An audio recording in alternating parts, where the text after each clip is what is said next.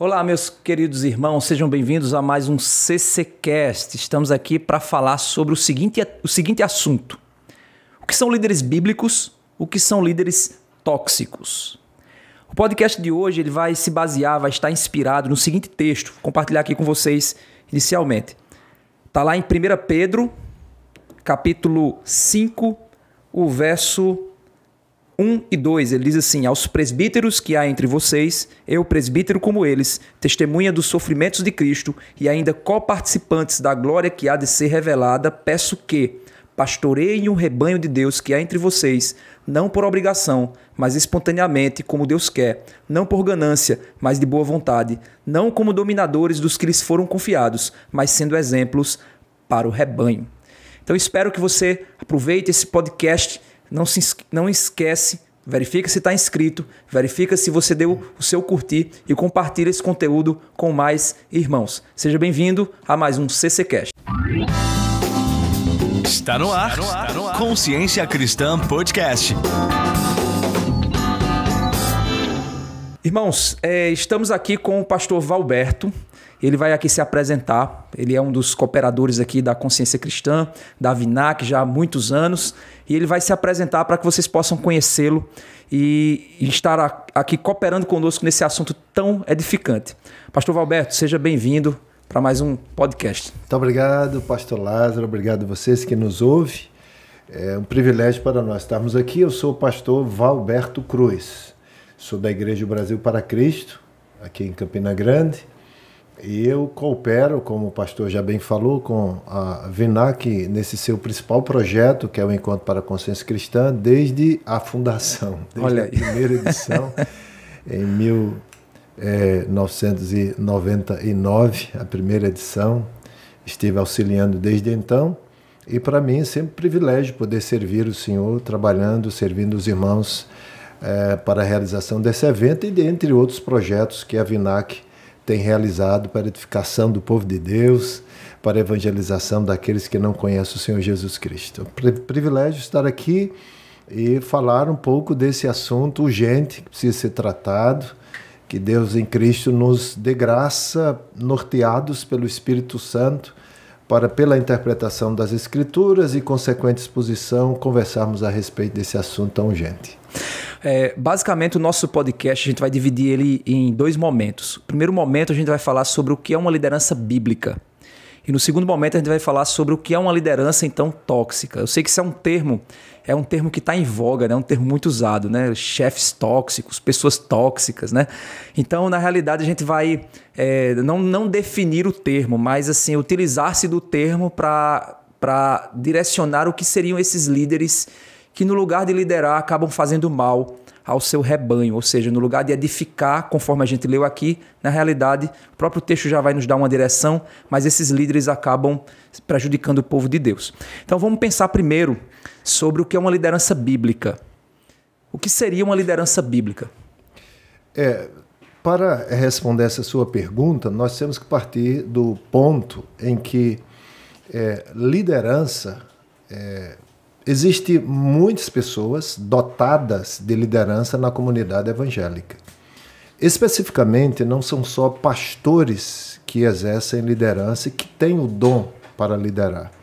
Nós vemos diferentes cargos, nós vemos diferentes ministérios na igreja em que pessoas exercem o papel, a função de liderança, no entanto, não têm o dom de liderar.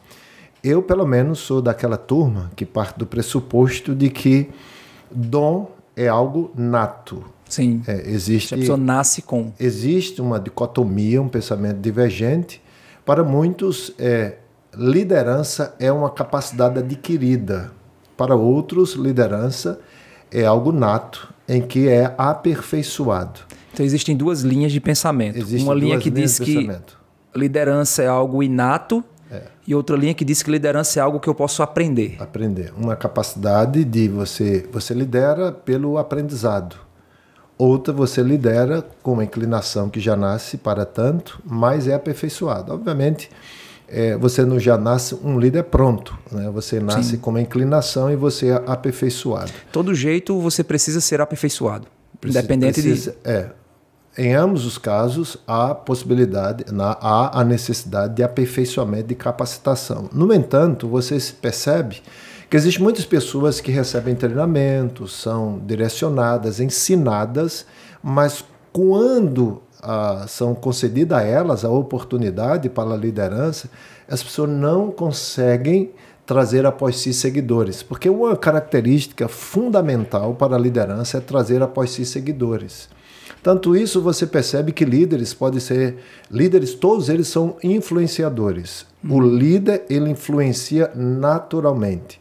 Ele tem essa capacidade de influenciar as pessoas. Então é a qualidade de ser líder é saber influenciar. É, é essa disposição para influenciar. Sim. Então, o líder é aquele que influencia naturalmente as pessoas.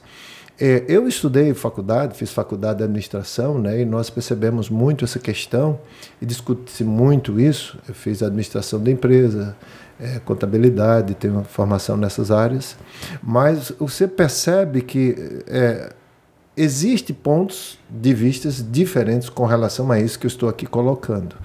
Agora, no sentido geral, líder é aquele que traz após si seguidores. Você, você percebe que existem pessoas que lideram tanto para o bem como para o mal.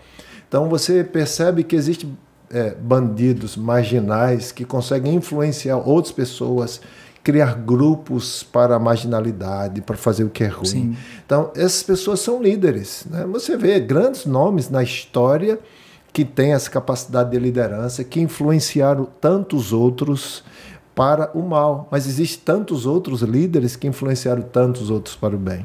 Então, eu entendo e é, concebo e, e, e, vou por essa linha de que liderança é alguém que já nasce com a predisposição, mas que é aperfeiçoado. Então, no campo da igreja, não se tratando do, da, da, organização, né? porque a igreja é uma organização, é, é um organismo, na organização, instituição, igreja, organização, igreja, você percebe que existe é, muitos ministérios que se faz necessário líderes.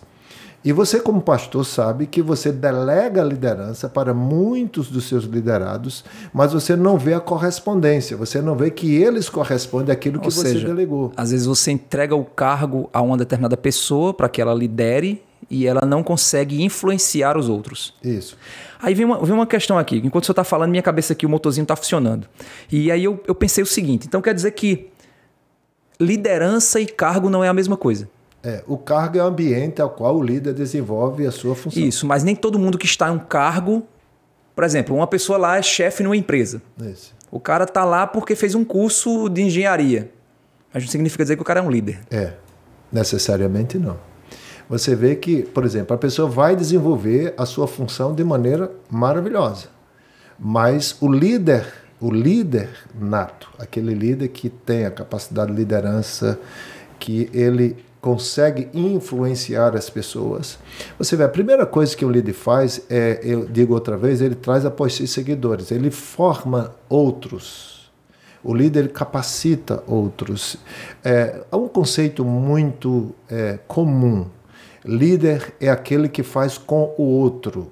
O líder, de fato, é aquele que faz com o outro. Então, porque ele fomenta no liderado essa percepção de que ele pode ser aprendido naquilo que lhe foi delegado a fazer. Então, um, um, um líder, ele é, está liderando, ao mesmo tempo, ele está se colocando como exemplo para que seus liderados percebam o funcionar através da vida dele e eles correspondem mais objetivamente. Então, é, Maxwell ele define uma característica principal para a liderança como sendo a capacidade de influenciar os seus liderados. Então, líder é aquele que influencia.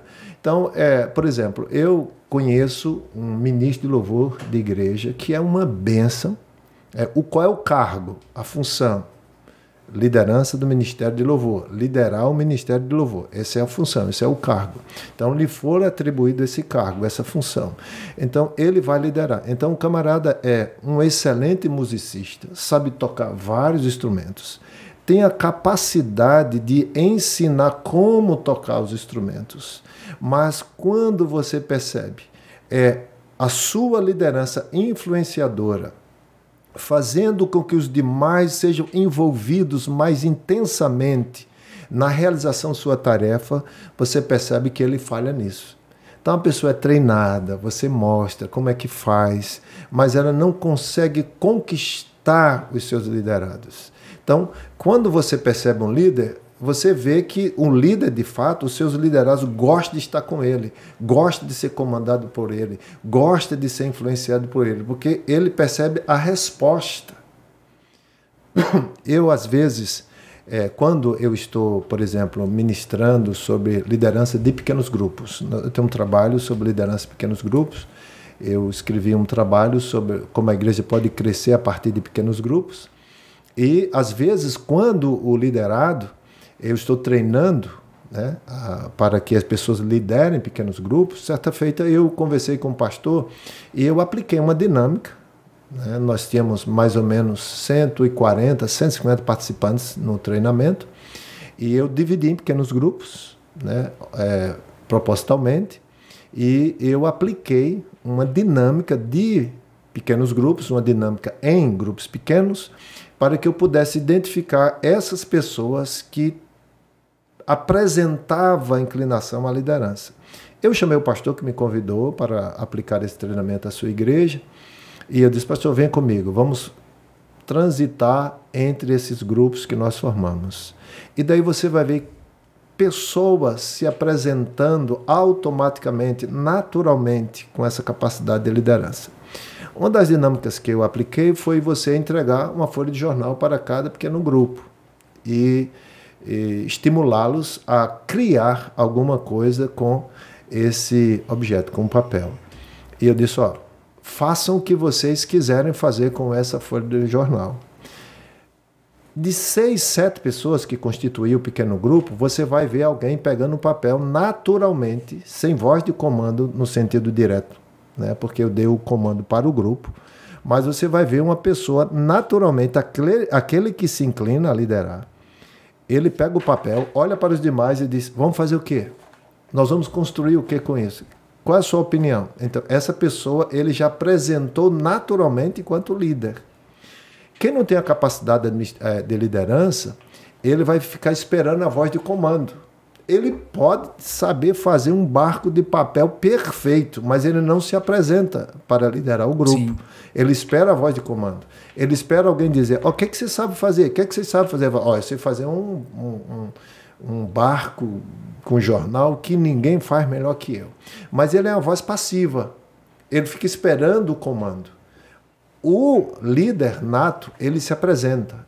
Ele pega e induz os outros a se apresentarem, ele estimula os outros a se apresentarem. Então é daí que nós percebemos naturalmente aquele que tem uma inclinação à liderança. Então ele pode não saber tudo de que se espera em alcance do objetivo. Sim. Mas ele se apresenta para ser aperfeiçoado e levar os demais à consecução do objetivo estabelecido. Então, o primeiro passo que a gente, ao se tratar de liderança, nós temos um problema, porque o nosso foco, eu acredito que seja liderança pastoral.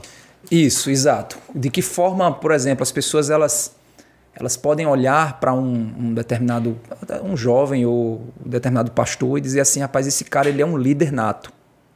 Ou olhar e dizer, rapaz, esse cara ele está nessa posição, mas ele não é um líder nato, ele é um administrador.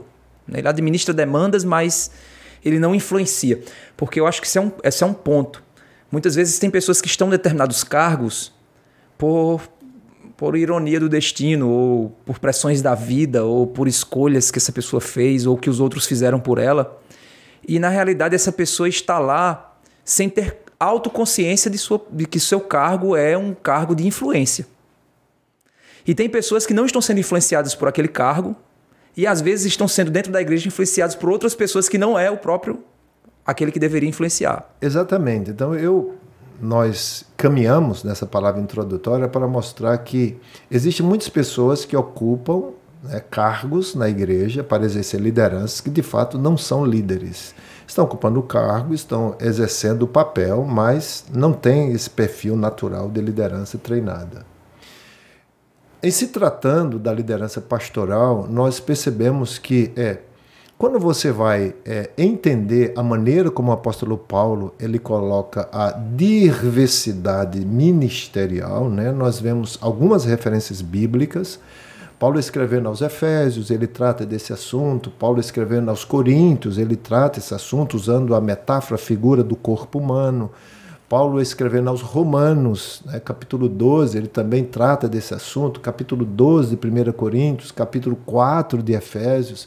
São textos, né, esse de Pedro que você citou, Sim. são textos que nós temos o aparato para perceber como né, a diversidade ministerial ela acontece no corpo de Cristo, no exercício do corpo de Cristo para um fim comum, que é o aperfeiçoamento dos santos.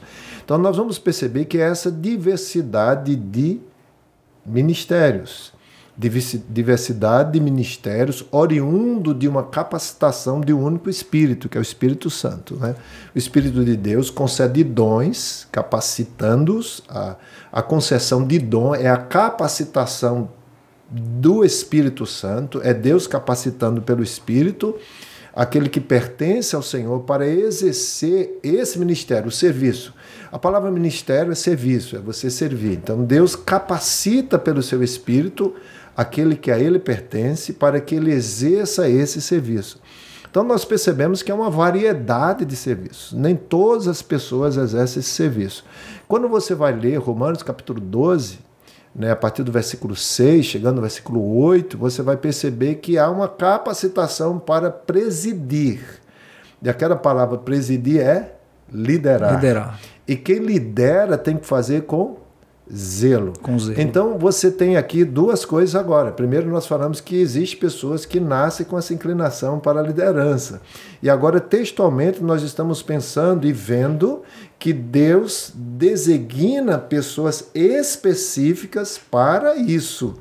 Então, aqueles que presidem, faça com zelo. Se você vai ver o versículo 6, no versículo 6, Paulo está dizendo que, pela graça de Deus, uns foram dados a isso, outros foram dados aquilo. Então, da mesma forma, o apóstolo Paulo vai falar escrevendo aos Efésios, porque isso é um pensamento que ele tem. Então, da mesma forma que ele aborda o assunto tratando com os irmãos romanos, ele aborda o assunto tratando com os irmãos efésios, porque ele não poderia falar diferente. Sim. Essa é a percepção que o Espírito de Deus o concedeu para falar. Então, isso eu quero mostrar duas coisas diferentes. Primeira, que existe pessoas que foram dadas por Deus a exercer o dom de liderança e deve fazer com zelo. Mas existe pessoas que afora o dom de liderança foram lhes acrescentado o dom pastoral. Então, além de você liderar, você pastoreia. Parece que é mais de um dom. Então, você é líder e você é pastor. Quando nós vamos ler, eu quero ler, se me permite, sim, aqui, sim. Efésios capítulo 4, a partir do versículo 7. É, é muito interessante isso, mas é por que, que as pessoas dizem, ah, fulano não tem jeito de pastor? É, fulano não tem características de pastor. É, fulano, ele se esforça, mas ele não corresponde ao pastorado. Então, nós estamos falando de liderança bíblica. Então, em nossa percepção, o que é liderança bíblica à luz das Escrituras? Liderança bíblica à luz das Escrituras, primeiro, é quando uma pessoa ele pertence a Deus, ele é de Deus, e Deus o dá para ele servir ao Senhor no processo de aperfeiçoamento, aperfeiçoamento do corpo de Cristo daquela forma. Então, você vai ver pessoas ocupando né, o cargo de pastores, mas não Sim. são dados por Deus a serem pastores. Às vezes ele, ele, ele, sabe até administrar bem uma igreja, mas a igreja ela, ela se torna uma máquina, né? uma máquina que produz alguma coisa, mas que não você não percebe que existe uma edificação do corpo, né? uma, uma, uma, um amadurecimento. Né? A questão está aí, você falou na capacidade administrativa. Existem pessoas que aprenderam técnicas na administração, técnicas né, ao administrar. Você vai para a faculdade e você aprende na faculdade técnicas em como se tornar um bom gestor, em como você administrar aquilo que está Ou em seja, a igreja pode se tornar grande. A, a igreja é uma instituição. Isso. A igreja é um organismo, a igreja é uma organização. Então, a semelhança de outras grandes empresas, de empresas diversas, a igreja é uma organização constituída de o, o, o maior recursos o maior recurso que a igreja tem são os recursos humanos. Recursos humanos. É, um, é, um, é. é uma empresa de recursos humanos. É uma empresa, o maior recurso são os recursos humanos. Agora, veja bem, a pessoa pode sim ser um excelente gestor, como eu lhe, como eu lhe disse. A pessoa pode ter o dom de liderança, a pessoa pode desenvolver aperfeiçoamentos na área da liderança, a pessoa pode se tornar um excelente gestor, levar a empresa a alcançar os seus objetivos, levar a igreja a alcançar os seus objetivos, no entanto, não ser um pastor, porque nós estamos falando de instituição, organização, e nós estamos falando de corpo de Cristo. A proposta bíblica é que você pertence a Deus, primeiro, você pertence a Deus, e a partir do momento que você pertence a Deus, Deus te concede, Deus te dá. Com que objetivo?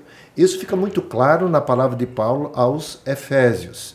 Então, Deus tem você, o Senhor te tem, e pela autoridade do Senhor Jesus, Jesus, por uma, por uma manifestação da sua graça, ele te tendo, ele te doa para você aperfeiçoar o corpo de Cristo, você servindo dessa forma. Porque o objetivo a que Paulo coloca é, em Efésios capítulo 4, por exemplo, o texto que eu estarei lendo para os nossos queridos ouvintes, é, o objetivo nesse fragmento da carta que Paulo está fazendo na exposição é Deus tendo você, lhe concedendo para que você aperfeiçoe o corpo de Cristo, para o corpo de Cristo ser a imagem de Jesus. O objeto final, o propósito final, o objetivo é você, o corpo de Cristo, ser parecido com Jesus. Então, há uma diversidade de ministérios em atuação pela capacitação do Espírito Santo para que essa comunidade a cada dia, cada vez mais, ela seja parecida com Jesus. O objetivo é que nós sejamos semelhantes a Cristo. Esse é o ponto final, esse é o objetivo, esse é a meta a ser alcançada. Então você pode ter uma igreja bem administrada, mas que não é, não está se tornando como Cristo. Vai ser um excelente clube social. Exatamente. Pessoa, Vai ser um atividades fantásticas. Fantástica de atração das confortável. pessoas. Onde as pessoas se sentirão bem, onde as pessoas se sentirão bem acolhidas, mas jamais se parecerão com Jesus. Ou seja, a igreja precisa de pastores e não administradores. Precisa de pastores. Porque quem pastoreia são pastores. E o pastor pressupõe um líder. Um líder. Ele, ele já é um líder nato quando Deus o chama e o capacita para isso. Vamos ler Efésios Sim. capítulo 4, verso 7 em diante, fica isso muito bem claro. Versículo 7 diz assim: E a graça foi concedida a cada um de nós segundo a medida do dom de Cristo. Ora, a graça foi concedida a cada um. É uma unidade na diversidade. Então, diversos, unidos em um propósito, segundo a manifestação da graça de Deus. Você ser um pastor é manifestação da graça. Você ser um evangelista é manifestação da graça. Você ser um administrador, um líder, a palavra presidir, administrar, liderar, é manifestação da graça. Paulo relaciona é, aos romanos, entre essa diversidade de ministérios, até aquele que oferta, o que doa, o que contribui faça com generosidade. Então você perceba que tudo está em funcionamento pela manifestação da graça de Deus, pela concessão do dom do Senhor. Até você disse, rapaz, fulano é uma pessoa que ela tem assim uma visão extraordinária de ofertar na obra do Senhor, de contribuir. É dom. Aquele que contribui, faça com generosidade. Então, Deus trabalhando Deus movendo tudo. Operando através espírito, do povo. Operando pelo seu Espírito. Então, e a graça foi concedida a cada um de nós segundo a medida do dom de Cristo. Então, Cristo é quem concede. Se você vai lá para 1 Coríntios, capítulo 12, você vai ver Paulo dizendo assim: a uns, pelo mesmo Espírito, é dado o dom disso, o dom daquilo, tal, tal. Pelo Espírito Santo é concedido os dons, né? Jesus confere os ministérios e Deus atua. Você vê a, ação triunitária em atuação. Espírito Santo na capacitação, o Senhor concedendo os dons, né? o Senhor os ministérios e Deus agindo de uma forma geral. O que, que nós percebemos com isso? É que quando você vê, é, e analisando o texto de Coríntios, você percebe que o Espírito Santo capacita aquele que é eleito, que é do Senhor, aquele que pertence, que está em comunhão no corpo de Cristo, capacita para o exercício do ministério e todos os ministérios são apresentados à pessoa de Cristo. Todos os ministérios em evidência, tudo que se vê em Cristo. É algo extraordinário, maravilhoso, porque o aperfeiçoamento é em Cristo. Então, se todos os ministérios estiverem em funcionamento e a comunidade não refletir a pessoa de Cristo, você em sua particularidade não refletir a pessoa de Cristo, não você está fora daquilo que Deus te separou para fazer. Então perceba a palavra de Paulo. E a graça foi concedida a cada um de nós segundo a medida do dom de Cristo. A concessão é Cristo, ele é o cabeça. Sim. O cabeça é quem designa aos demais membros Ele de- como fazer. Ele delimita o Ele- escopo, ele né? delimita. É ele que escolheu. É ele que deu. Ele nos comprou para Deus e ele diz como nós temos que ser. Ele nos capacita a assim ser. Então, aí Paulo abre um parênteses para mostrar essa obra gloriosa de Cristo. Por isso ele diz, quando ele subiu às alturas, levou cativo o cativeiro e concedeu dons aos homens, para mostrar a autoridade do Senhor em fazer isso. Ora, o que quer dizer ele subiu, senão que também havia descido até as regiões eh, inferiores da terra? Isso é só um parâmetro, que, um, Sim. um, um parênteses que Paulo está fazendo para mostrar a autoridade do Senhor pela concessão Mostra dos esse dons. movimento, né? Esse, esse ganho de autoridade pela morte de Cristo, essa morte e ressurreição ao É ao pra, só terceiro para dia. mostrar que por que ele ordena? Porque ele tem autoridade. Sim, Para mostrar que ele, ele manda e ele faz o que ele pode. sim. Versículo 10 diz: Aquele que desceu é também o mesmo que subiu acima de todos, acima de todos os céus para encher todas as coisas. Aí fecha parênteses. Ele continua que vem no versículo 7. E ele mesmo concedeu uns para apóstolos, outros para profetas, outros para evangelistas e outros para pastores e mestres. Então você perceba que o que o texto está mostrando, que Paulo está trabalhando, é que Jesus lhe tem, Deus lhe tem. E ele sabe exatamente onde ele quer colocar você no serviço ao corpo. Perceba que o versículo 12 diz assim: qual é o objetivo disso, dessa concessão? E ele deu uns para apóstolos, para profetas, para evangelistas, para pastores e mestres. Mas com que propósito? Versículo 12 informa: com vistas ao aperfeiçoamento dos santos, para que os santos sejam aperfeiçoados. Mas você é aperfeiçoado em um modelo. Você não é aperfeiçoado aleatoriamente. Você é aperfeiçoado num parâmetro.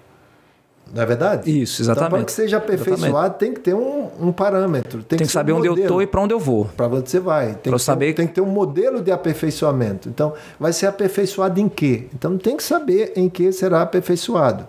Então, com vistas ao aperfeiçoamento dos santos, para o desempenho do seu serviço, para a edificação do corpo de Cristo. Então, você é aperfeiçoado para o desempenho do seu serviço, para a edificação do corpo de Cristo, até que todos cheguemos à unidade da fé e do pleno conhecimento do Filho de Deus, ao estado de pessoa madura, à medida da estatura da plenitude de Cristo, para que não mais sejamos como crianças arrastados pelas ondas e levados eh, de um lado para o outro por todo o vento de doutrina. Então você perceba que é, o Senhor te deu para você exercer esse ministério. Então, ele te separou. Mas não lhe separou você sem capacitação. Ele não disse, ó, você vai fazer isso e te vira. Você vai fazer Inventa um isso, modelo da tua cabeça Inventa e- como você quer. Então, tem o alvo estabelecido, tem a meta proposta e tem a capacitação dada por ele. Então, quando você vê pastores fazendo exatamente as suas contrárias, quando você vê um líder fazendo exatamente as coisas contrárias a isso que fora proposto, esse não é um líder bíblico. Ou seja, o, o líder bíblico ele é uma pessoa que influencia pessoas na direção de torná-las cada vez mais semelhante a Cristo. A Cristo. E ele, ele faz isso por meio de sua vida. Por meio de sua vida, porque ele foi capacitado pelo Espírito Santo a fazer isso. Então você vê que é, ele foi ensinado, ele, ele é ensinado pelo Espírito do Senhor a fazer isso. Então o, o pastor não olha para si mesmo, ele olha para o outro. Ele olha para o aperfeiçoamento dos santos. O que ele faz, tudo que ele faz, tem visto o aperfeiçoamento dos santos. É, o, o seu ministério objetiva o aperfeiçoamento dos santos, como diz a palavra de Deus. Você está servindo o outro para que o outro seja aperfeiçoado e tenha um bom desempenho no seu serviço. Por exemplo, é, alguém que, que tem essa concessão de dom de Deus, de sabedoria, de conhecimento, o pastor, ele no exercício do seu ministério, ele vai contribuindo para tudo isso. O exercício do seu ministério contribui para o corpo. Ele não olha para si, ele olha para o corpo. Então ele vê o aperfeiçoamento dos santos tendo um propósito, chegar à Ou semelhança seja, de Jesus. Ele não administra a igreja para si. Não, ele ele não faz o seu império pessoal. Não, de forma nenhuma. Ele foi capacitado para ver o outro, ele foi capacitado para ver aquilo que o Senhor o concedeu em visão a ver. Deus mostrou a ele onde ele tem que chegar. E Deus o capacita para fazer isso. Tem uma frase bem interessante que uma vez eu vi um pastor, eu não lembro qual foi o pastor, acho que foi o Hernandes. Ele dizendo o seguinte: tem muitos pastores que foram, foram chamados a cuidar da noiva, mas eles estão flertando com ela. É. Quer dizer, ele foi chamado para cuidar da noiva de Cristo, mas ele está paquerando a noiva de Cristo para ele, né? Usando a noiva de Cristo para si. E, e você cita textos, como você citou um texto, olhe como você cuida da igreja do Senhor.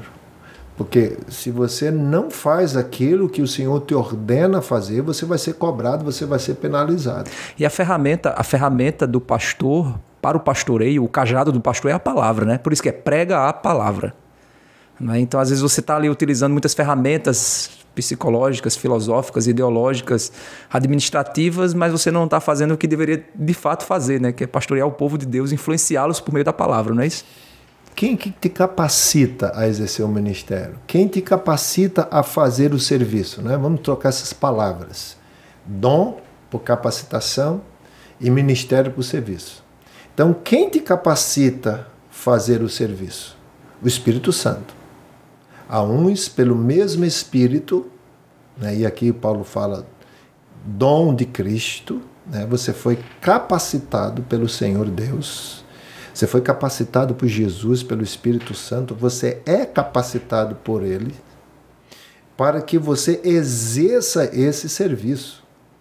Então, não há como você estando nesse foco, não há como você estando nesse propósito divino, você buscar capacitação fora disso. Então, ferramentas que não te propiciem você exercer o excelente serviço que o Senhor te ordena, não serve. Não serve. Então, qual é a principal ferramenta nesse exercício? Qual é a principal ferramenta em você prestar esse serviço? Sua total dependência no Senhor. Então, você tem que ser uma pessoa que vive em oração. Você tem que ser uma pessoa dependente do Senhor em oração. Você tem que estar conhecendo todo o tempo a vontade do Senhor pelas Escrituras. Como que você vai aperfeiçoar as pessoas com outra ferramenta a não ser aquela que o Senhor te capacitou?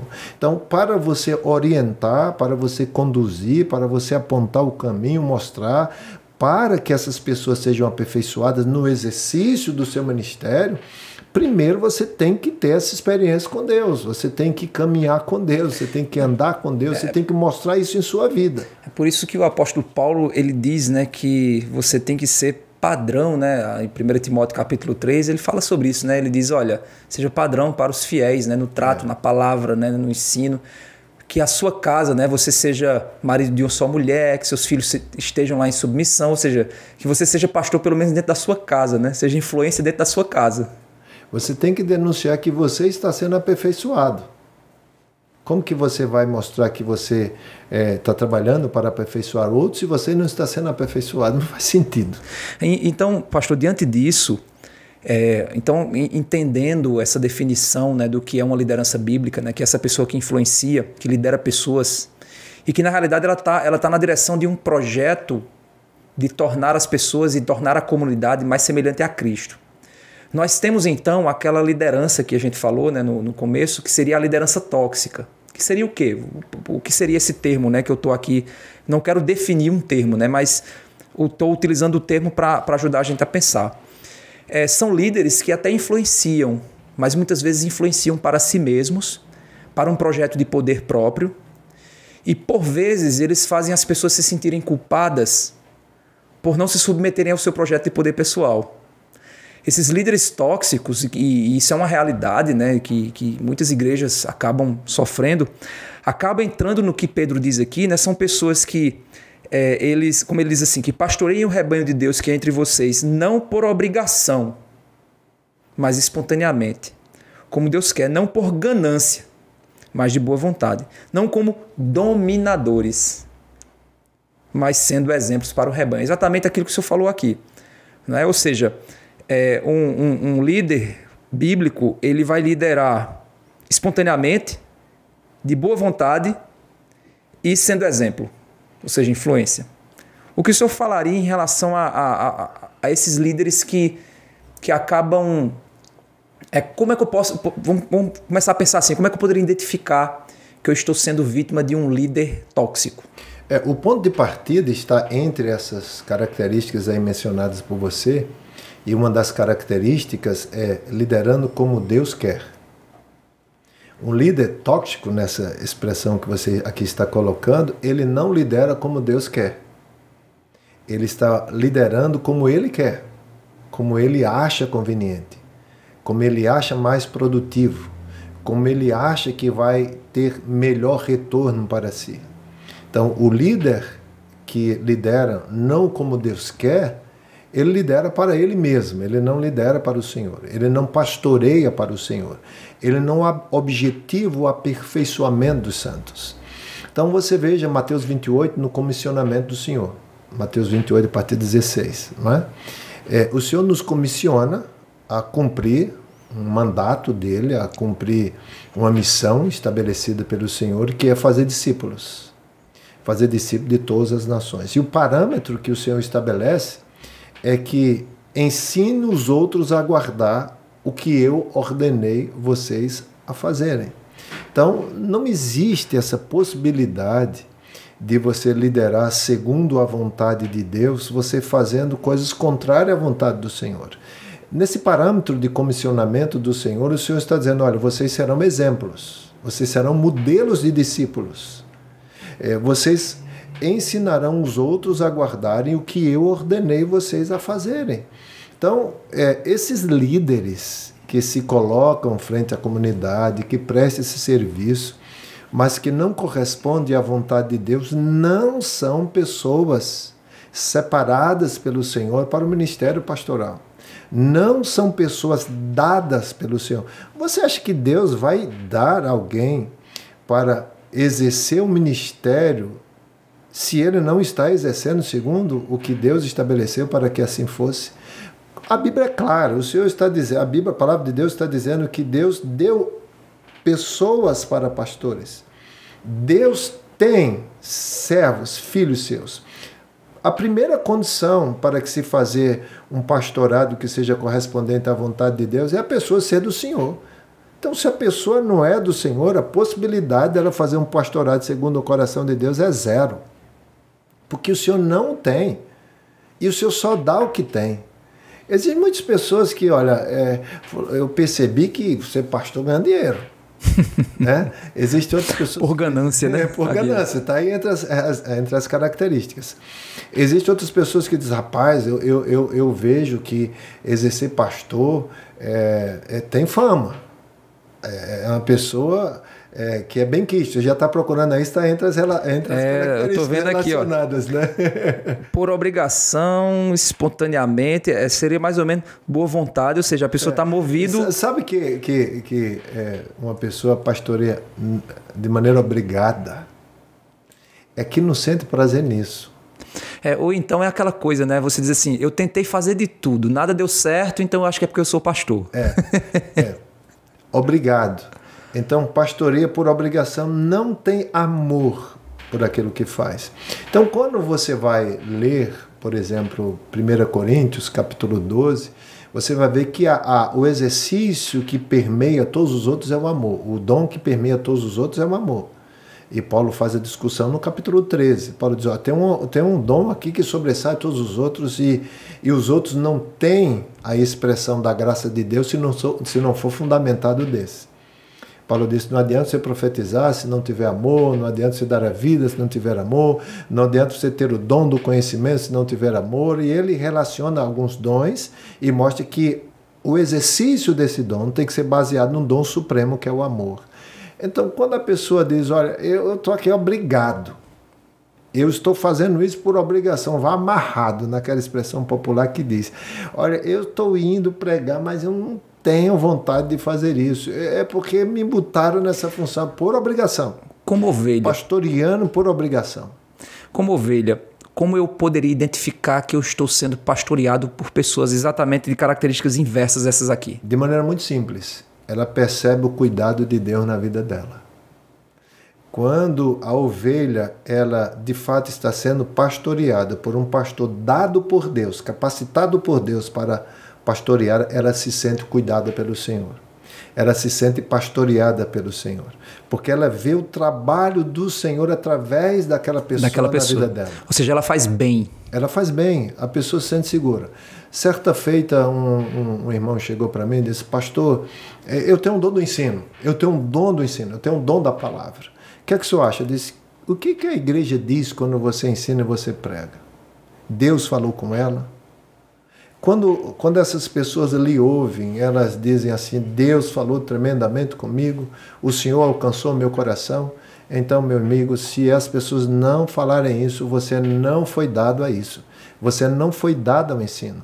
Porque a capacitação é do Senhor. E quando alguém que tem um dom do ensino, né, embora que o texto Paulo diga haja, quem tem um dom do ensino, haja dedicação, obviamente eu tenho um dom do ensino, por exemplo, Aí, vai vir para o download. Vai vir tudo down, né? vai vir tudo aí, você não precisa fazer nada, você não precisa se esmerar, você não precisa trabalhar, você não precisa estudar, você não precisa se aprimorar, né? Então, não, Deus já deu tal, é aquela história de má interpretação, a letra mata, mas o espírito vivifica, sim, sim. né? A história de má interpretação, que ela não tem nada a ver com isso. Mas é isso. Como que a igreja identifica que ele é um pastor dado por Deus? ela se sente cuidada, como o Senhor a estivesse cuidando.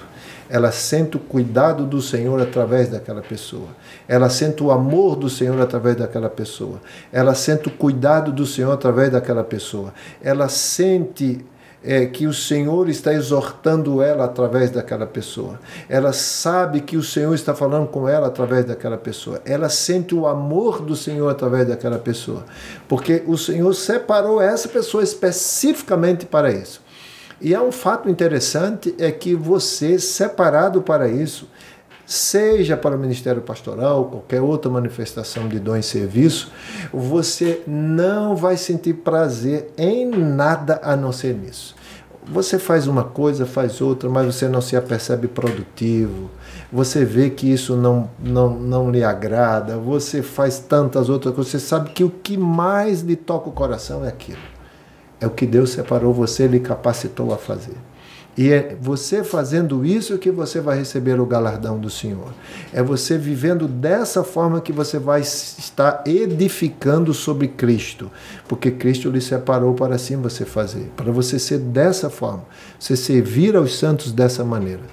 Né? Existe por exemplo, pessoas que exercem o ministério pastoral infelizmente precisam ainda exercer uma, uma, função ocupacional, exercer um trabalho para sua manutenção. Né? Como Paulo ele fez por algum período de seu ministério.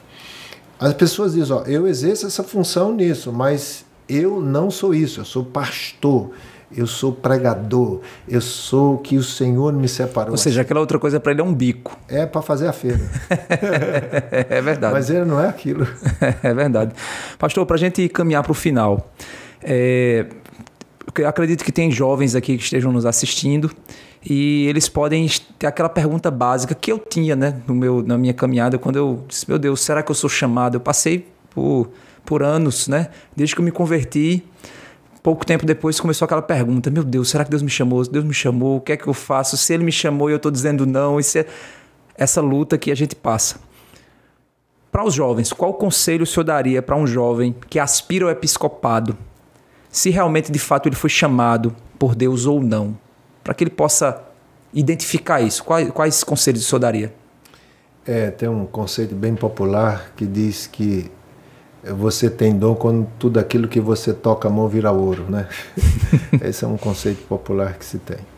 Mas vou dizer para você, a primeira coisa que a gente deve ter um entendimento claro com relação a uma chamada, primeira coisa, é que se você pertence a Deus, se você é do Senhor, se o Espírito do Senhor testifica com o seu Espírito se você é filho de Deus, como Paulo diz aos Coríntios.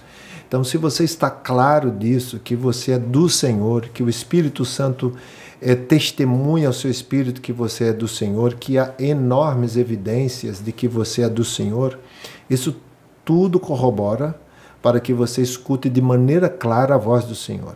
Então, se você é, de fato é do Senhor e você tem percebido o Espírito do Senhor falando com você, mostrando a você a vida, o que Deus quer de você. Obviamente, o Senhor vai estar falando ao seu coração que você é um separado pelo Senhor para isso. Então, existem pessoas que vão para o seminário, fazem um curso de teologia e dizem, não, agora ser pastor, porque eu fiz o curso de teologia. Esse aí não, necessariamente não é um chamado. não. Entende?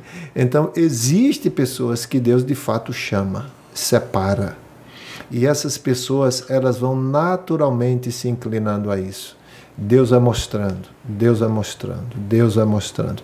Existem pessoas que pastoreiam sem sequer ter ido ao seminário. Né? Não tiveram oportunidade de pastorear, mas Deus concedeu o dom. Falou, ela cuida das ovelhas, Senhor, cuida do povo de Deus. E depois vem o preparo, o crescimento, ela Sim. vai se aperfeiçoando. Esses jovens que estão nos ouvindo, estão nos, nos escutando nessa tarde, você não foge. Se você pertence ao Senhor, se você é filho de Deus, se, o Senhor, se você tem aliança com o Senhor, está em comunhão com o Senhor, você reluta, mas você não foge. Você idealiza fazer um curso universitário para se tornar um profissional tal, brilhante, excepcional. Deus fecha uma porta aí você está no trabalho e vai bem no trabalho, de repente começa o desânimo, não sente prazer naquilo, Deus está direcionando, fechando uma porta aqui, ele, ele vai te mostrando, ele vai te fazendo enxergar. E de repente você percebe claramente. Eu me lembrei de Hudson Taylor. Hudson Taylor, quando era criança, né, recebia as visitas dos seus pais em casa, seus pais tementes do Senhor. E ele dizia: Olha, quando eu crescer, eu vou ser missionário. Quando eu crescer, eu vou ser missionário. Chegava as visitas na sala, quando eu crescer, eu vou ser missionário. Quando tornou a idade de adolescência, ele, é, entre aspas, desviou do evangelho, não quis mais negócio com o Senhor. E a sua mãe orava muito por Ruth Santeiro, orava muito por Ruth Santeiro. E Ruth Santeiro, na adolescência, depois de fazer muitas coisas que não agradavam o Senhor, pela oração da sua mãe, a sua mãe estava ausente, ele lendo um folheto do pai, na biblioteca do pai, lendo o folheto que encontrou entre os livros do pai, se rendeu ao Senhor e começou um preparo, ele mesmo se preparando para o campo missionário, abstendo-se de determinadas coisas, denunciando mais temor ao Senhor. E ele dizia: Eu estou sendo treinado para quando o Senhor me levar para a China, eu vou aprender que eu já fui treinado pelo Senhor aqui, dessa forma, dessa forma, dessa maneira. Então eu vejo naturalmente, né? porque o chamado do Senhor é natural, natural nessa expressão que nós aqui colocamos. Quando Deus separa, Ele separa, capacita e faz você enxergar que Ele te levou para isso. Exato. Embora que você relute, relute por anos, tem gente que é, ele reluta com Deus por anos, mas ele acaba cedendo e não tem outra. E ele diz: Senhor, há quanto que eu já poderia ter me entregue e produzido muito mais para o Senhor. Então, esses jovens que estão nos ouvindo, você pode idealizar uma série de coisas, mas se o Senhor te separou para isso, não tem outra. Maravilha. Pastor Valberto, uma alegria ter estado com o senhor aqui. É, espero né, que a gente possa, outras oportunidades aí, ter outros podcasts falando também sobre esse assunto, né, sobre liderança no geral. Então, Deus abençoe sua vida, agradeço a sua participação, né, que Deus esteja lhe fortalecendo. Amém. E eu quero encerrar dizendo para vocês, queridos, que nos ouvem, que aquilo que você faz assim, que você diz, poxa, eu não tenho capacidade para fazer isso. Eu já estudei, já li e tal, mas eu percebo que isso não é de mim. Foi o Senhor que te capacitou a fazer. Então faça com dedicação, com esmero, sabendo que é o Espírito do Senhor que está te capacitando a servir dessa forma para o corpo do Senhor ser aperfeiçoado. Sabe, quando eu estou ensinando, para mim ali é a coisa que eu mais amo fazer. É a coisa que eu acho que eu sou mais produtivo. E aí eu sei que isso não vem de mim, é a capacitação divina, foi o Senhor que me deu para isso. Então, eu estudo tal, o Espírito traz a memória, traz a lembrança, e você vai assim se apresentando, mas não porque você acha que você é, porque você é o cara, mas porque o Senhor te separou, te capacitou, a glória é dele e ele faz como ele quer. Amém. Maravilha, meu querido irmão. Então, não sei se você já curtiu, compartilhou, mas também eu quero te pedir para você comentar. Comenta aí o que você achou. Comenta também é, a tua experiência sobre liderança, tua experiência pessoal com líderes. Não é preciso botar nome de ninguém, não, pelo amor de Deus. Mas fala a tua experiência com líderes tóxicos também, pessoas que talvez te fizeram mal. Essas tuas experiências esses relatos, a gente dá uma lida, a gente analisa. Essas informações entram no nosso sistema para a gente pensar temas para trabalhar com vocês, para poder levar conhecimento da palavra do Senhor para todos vocês. Então, Deus abençoe a todos. Até o próximo CCCast. Com muita alegria. Curta, comenta e compartilha. Deus abençoe.